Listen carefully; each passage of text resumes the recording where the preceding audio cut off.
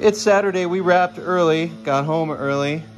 So I'm getting a little advanced prep time in for the next three assignments on the road back to back, three different projects. I won't be coming home in between them. So the second assignment, we're gonna shoot two FX9s with prime lenses. It's my red prime case. That case is way too big.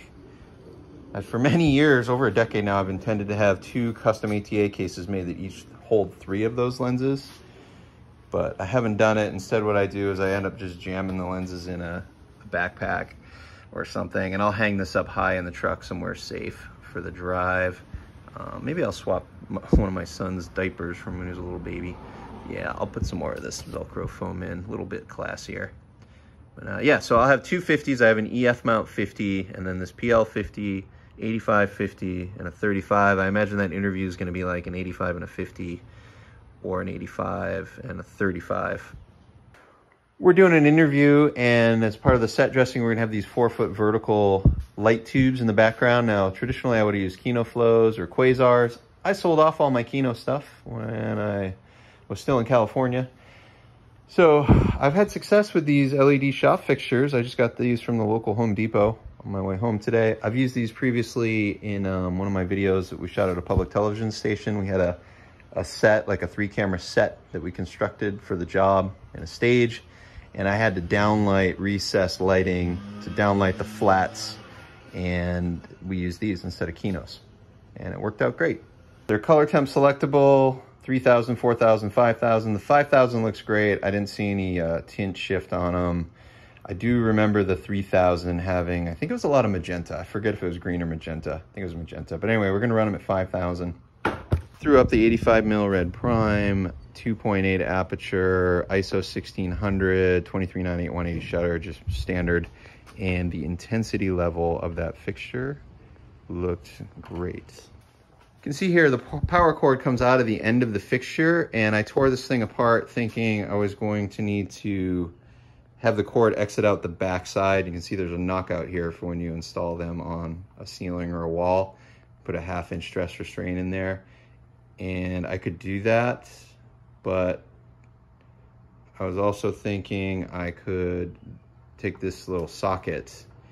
It's riveted in place, drill out this rivet, and then um, cut this open, I'm sorry, cut my own square and just re-chassis mount the socket on the back side but that requires cutting and resoldering the terminals. I gotta do three of them. I made these three bases. I don't wanna spend the uh, 90 minutes to three hours that it's gonna take me to make that all custom. So at a 2.8 aperture, these look fine out of focus. This cord is concealed in the bokeh and there's some nice halo from the fixture, so I don't think it's a problem. Well, had a little mishap. This is from being overtired we wrapped today. I've been working out in the sun for six days straight.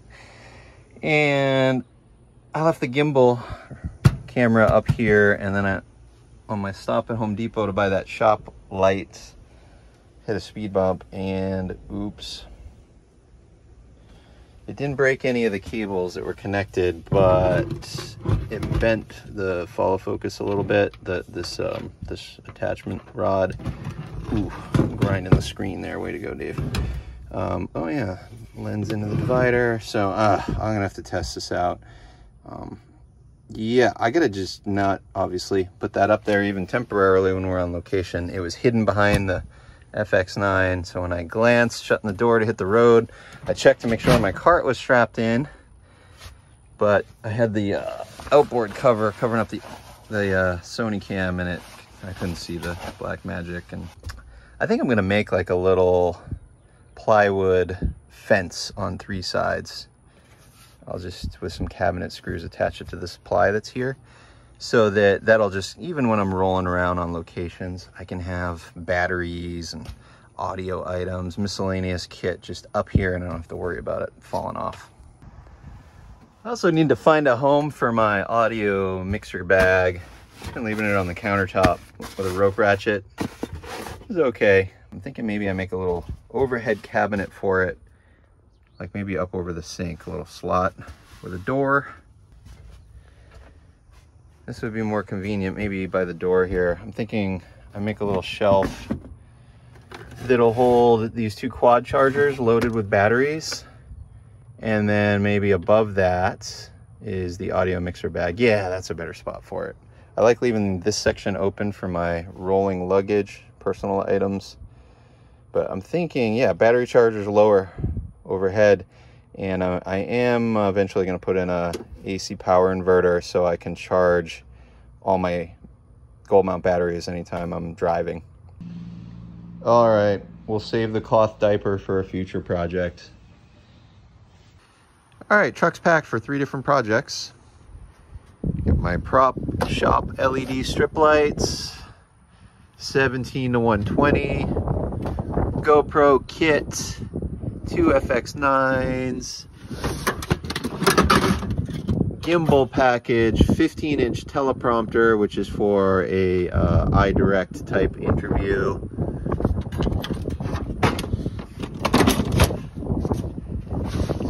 eight foot ramp for the tool chest, rock and roller for all of these cases.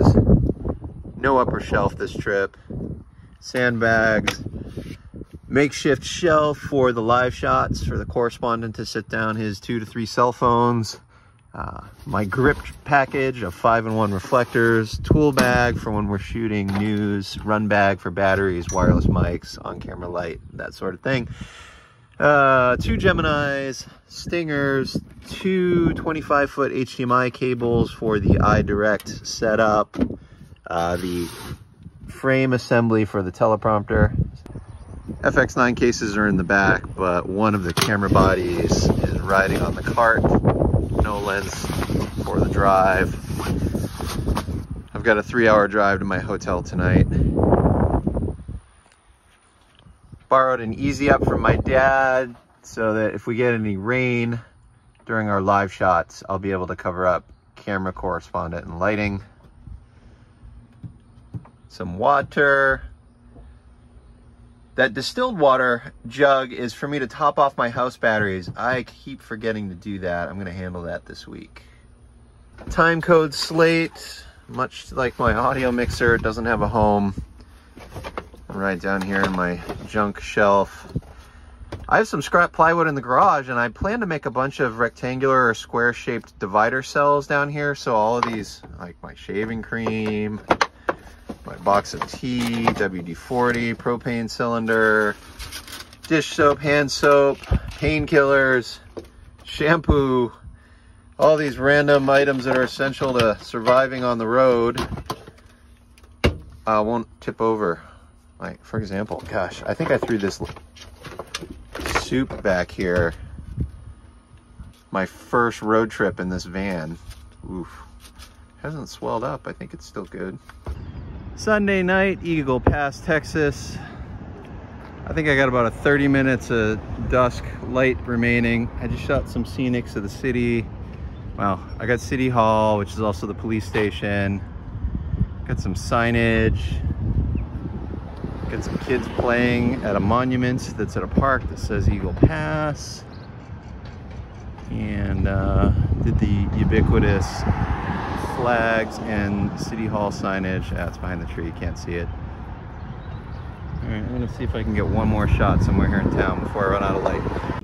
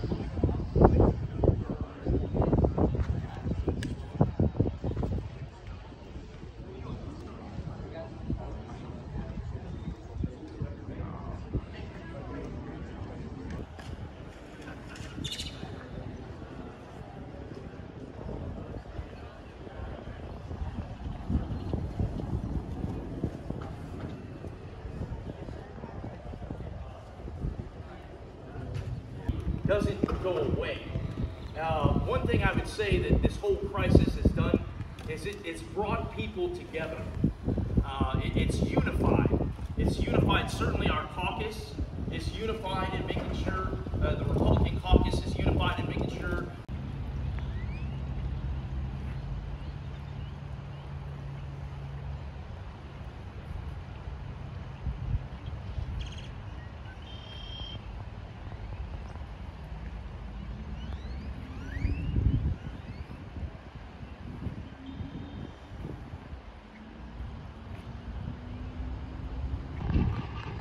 Uh, not a whole happening here. I've been camped out for a couple hours. Captured a father and son from Cuba. They made it across. They made the swim. I didn't get them swimming. I didn't catch them until they were on the shore on this side.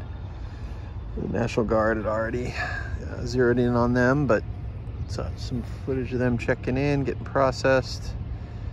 Uh, but my van is like three quarters of a mile away, other side of this golf course. I don't have a chair. I got crappy worn out shoes. I didn't think I was gonna be down here this long. The producer ran off to get lunch for us. When he gets back, I'm gonna eat lunch and then uh, talk to the folks here. This is all Fox News. They got Sat Truck. I think they have three cam ops, sound person, producer, got an Airstream tra trailer and they're doing their live shots right under the, the center pillar the bridge here.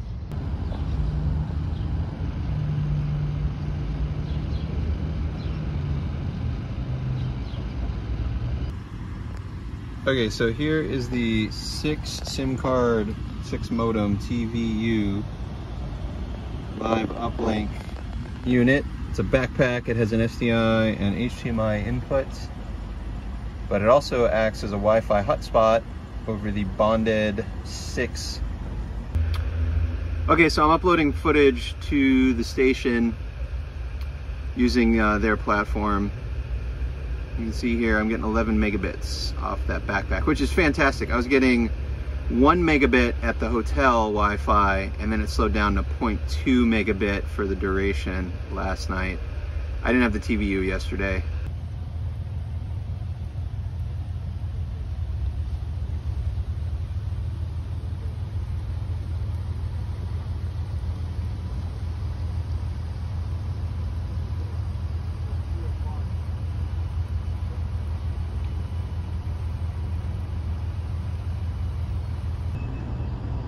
Well, the sun was out when I set up.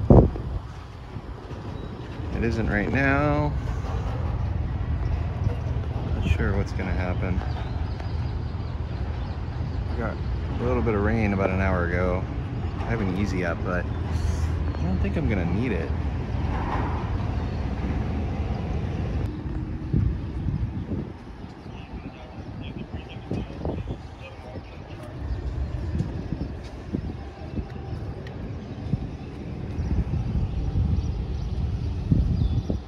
Had to move the TVU pack to that light stand on the other side of the shipping container to get signal.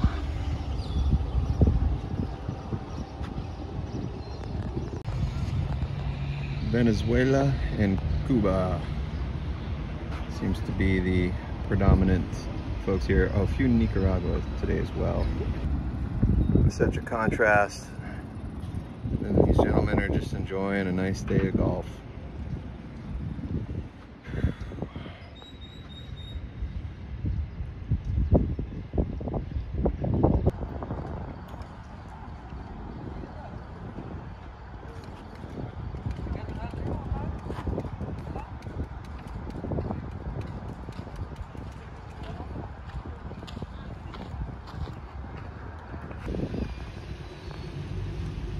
All right. Just in position for the 6 a.m. hits. Just had this group of young gentlemen cross the Rio. Just gonna run with the on-camera light this morning because uh, we've been moving around to get uh, the check-in processing activity in the background and they move pretty quick. TVU pack. I'm gonna end up throwing this on my back so that if I gotta pop off sticks and shoot the hit handheld, fast transition. I'm gonna have to call feeds and make sure they patch me up. I got my replacement came in today from Atlanta.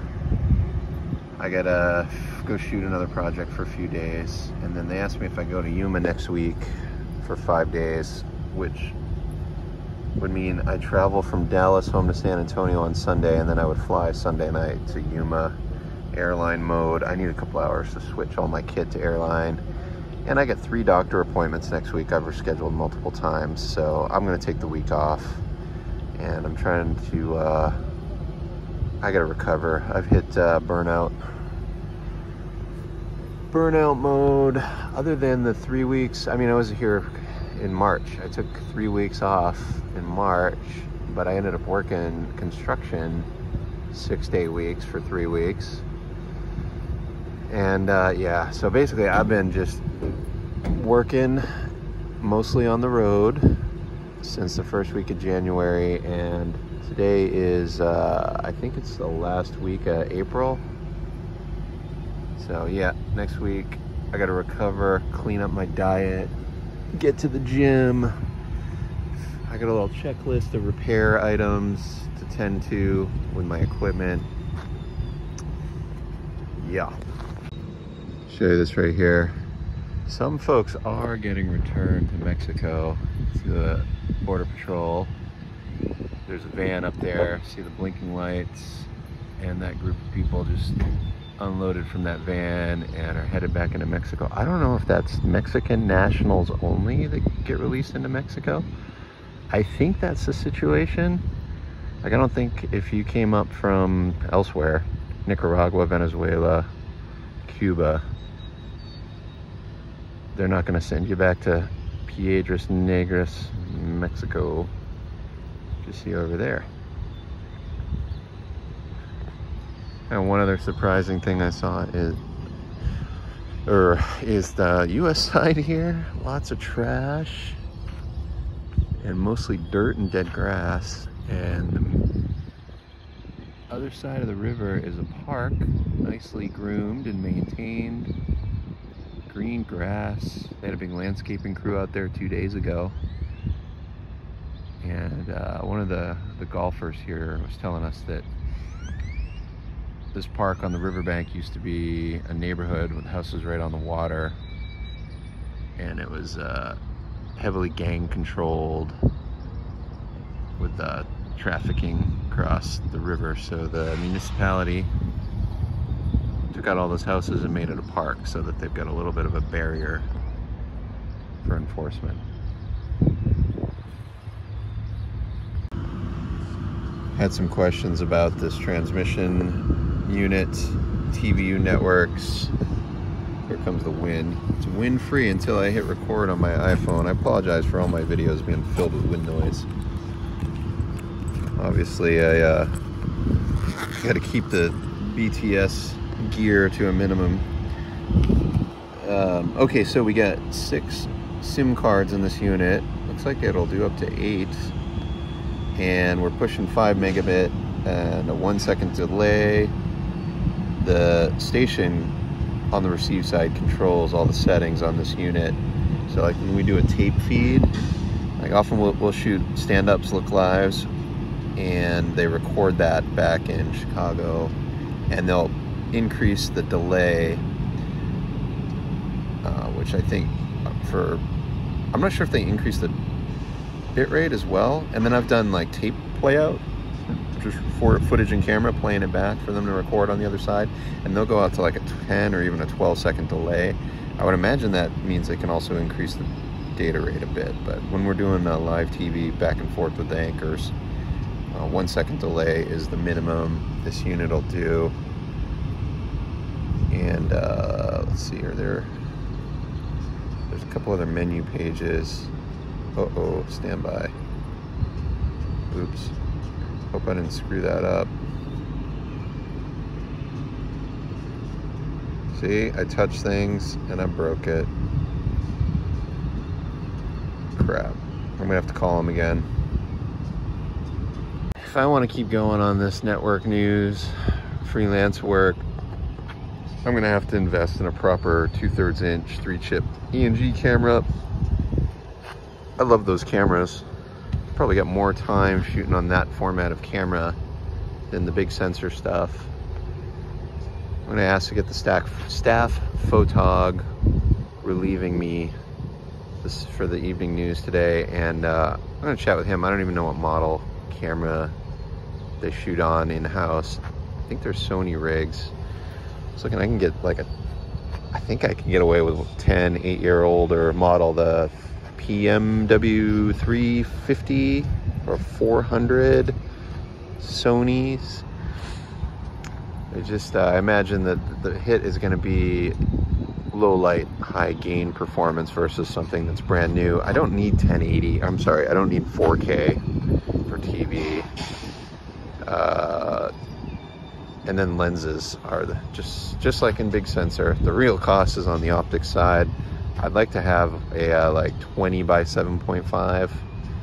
I think 18 by 7.5 is about like I think it's like 130, 138 millimeter um, 17 to 120 and I'll run this camera sometimes in 2K mode which is uh, Super 16 sensor size which I believe is just slightly larger than 2 thirds inch so I can get similar reach on this camera but I've got to constantly switch menu settings sensor scan area and it is a little bit softer this camera windowed in in 1080 but uh, at any rate I'm kind of thinking next here ooh, got a little activity here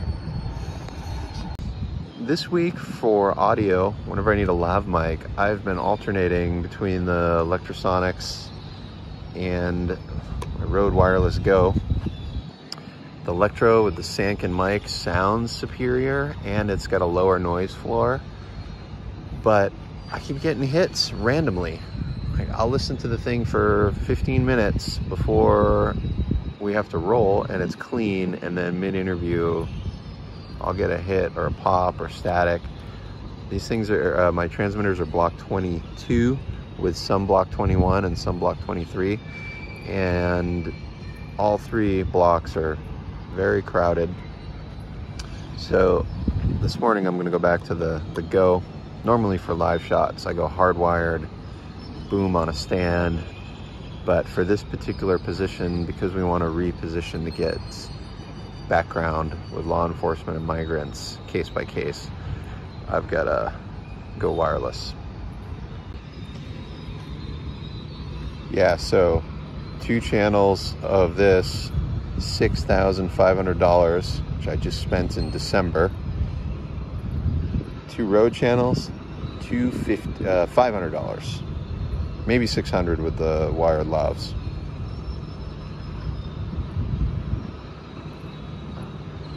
But then I have a few producers that will not use the Rode purely out of price point and brand.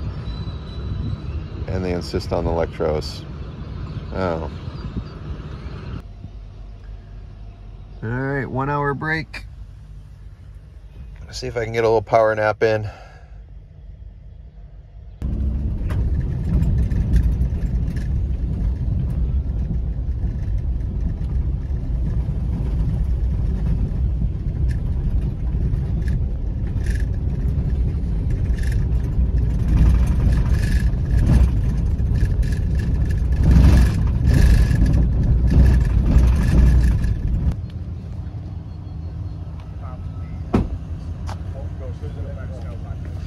I actually just rebirthed that.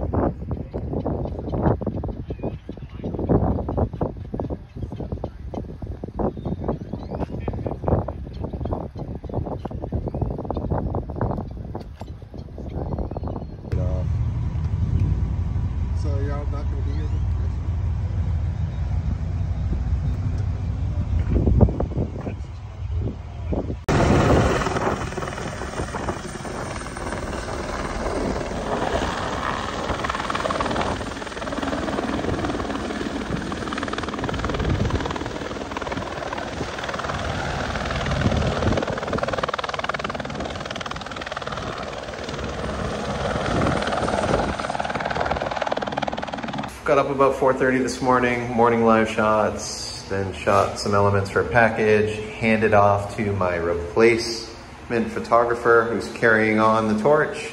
Just drove five hours, I'm in Houston now. I'm gonna take a shower here at this truck stop, spend the night in the truck.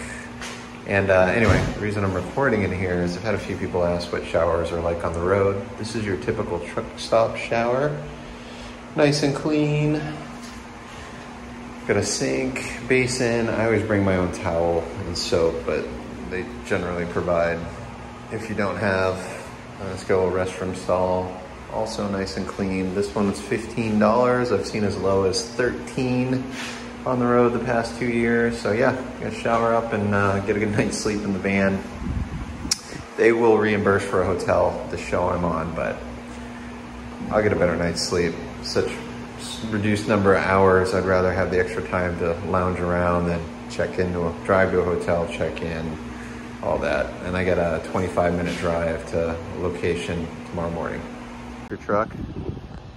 You'll plug. Po- po- posted on shitty rigs? Yeah. no, my, my van has first position. Yeah. I've made shitty rigs a few times. Oh yeah, I, I'm of shitty rig fame as well. Record that. I'm gonna document that. Look at that. With a capital J. Yep. we don't need apple boxes. So what would be the New York equivalent to that? Like that would be like. Uh, That's a was road. that like a two gallon trash can? So That's I like need a- two gallon. Is it like Connecticut, Rhode Island, Rhode Island, and Massachusetts? Yeah. For sure. Last day of a six day week. I'm up in Dallas, project three of three. I think I'm going to be able to stay single FX9, 28 to 135 all day, working outside. NDA, can't really show you what we're doing, but uh, it's outdoors and it's a fun one.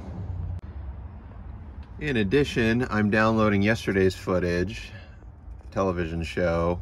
We shot three cameras, two camera interview, and then the gimbal. Oh, and we did some drone shots inside a warehouse area. So four, I guess four cameras. So I'm just gonna download that this morning. I gotta FedEx that drive to production on Monday. Well, this six days on the road, Eagle Pass, Texas, then Houston, Texas, and then north of Dallas in the Little Elm area. We are wrapped and just offloading footage. 118 gigs today. And throughout the day, I offloaded yesterday's footage from three different sources, as I discussed earlier. This road trip, I've had to top off my Gold Mount bricks on uh, each drive to the next location.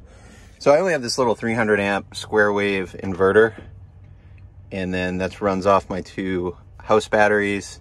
And then I've got a couple of USB 2.1 amp, I believe, ports. So like I can drone charger and then my Rode Go mic, cell phones. I think I'm gonna do a couple of mods in the coming week. I'm gonna put in a second or third one of these dual USB 2 amp, 2.1 amp ports. I think I gotta add another terminal block or just swap that one out for a bigger one because I believe I'm full down there. And then with this little 300 amp inverter, excuse, excuse me, 300 watts, I can only charge two gold mount batteries. If I do a third it, I blow the fuse. My other truck charger, this was an eBay Chinese brand knockoff clone charger. I replaced the fan a couple years ago and it popped on us yesterday.